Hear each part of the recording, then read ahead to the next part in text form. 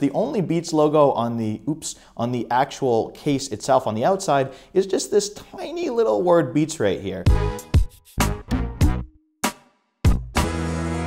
So what if I told you that a very popular headphones brand is now making plastic iPhone cases and on those cases, they're not even emphasizing very much the brand, right? That these are that brand's cases.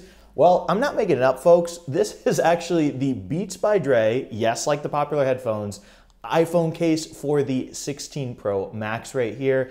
And it barely even mentions that it's a Beats case on the actual case itself, which is just mind blowing to me because Beats is not a case company. And if you're not even getting the cool factor of showing people that you have a Beats case, what exactly are you getting from this case? But anyway, instead of continuing to ask, let's actually just figure that out and start getting this case out of the box. Here we go. So this case's box has the Beats logo up here, says it's for the iPhone 16 Pro Max over here, and also clearly has a picture of the case on the front, as well as side views of the case on the side, which I think is kind of creative there. And over here on the back, we've got an inside view of the case.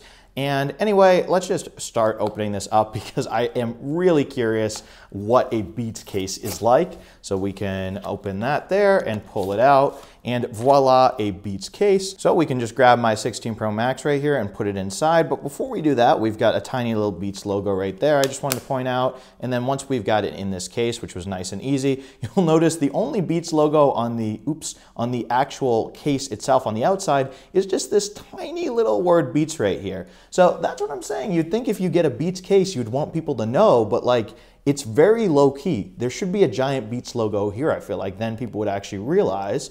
Um, also on this side of the case, we have the action button right here. So we can press that, works just fine. We've got the volume buttons right here. Let me unlock this so you guys can see. Nice and clicky right there. Over here on the side, we've got the side button. Over here, we've got the camera control button. So let's test that out. We can hold that down and open up the camera. And then let's see, can we use the sliding? Yes, we can just fine.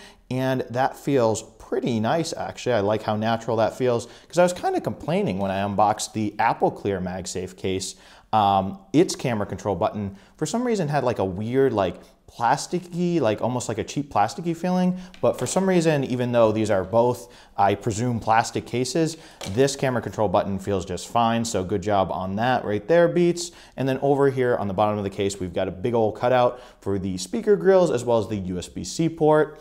And on the back, we do have a raised lip around the rear camera array, so that's good there. And then also some indicators of where the magnets are for MagSafe. And I will note those are thinner than usually MagSafe uh, magnet indicators are. So that's an interesting design choice and let's make sure that works just fine. Yes, it does. Okay, let's mute this again.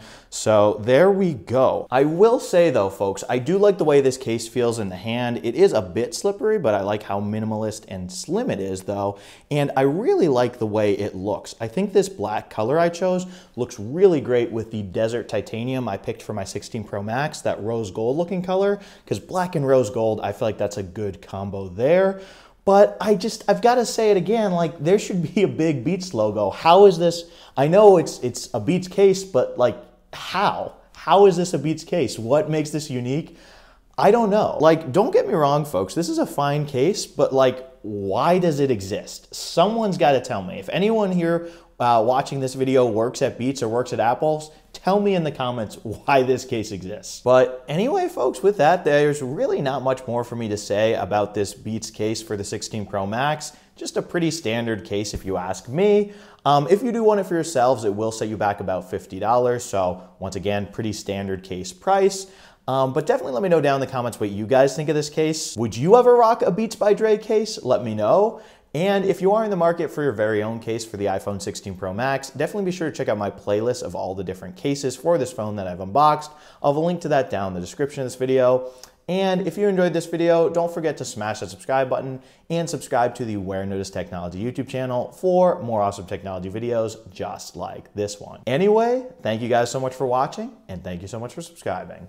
Bye.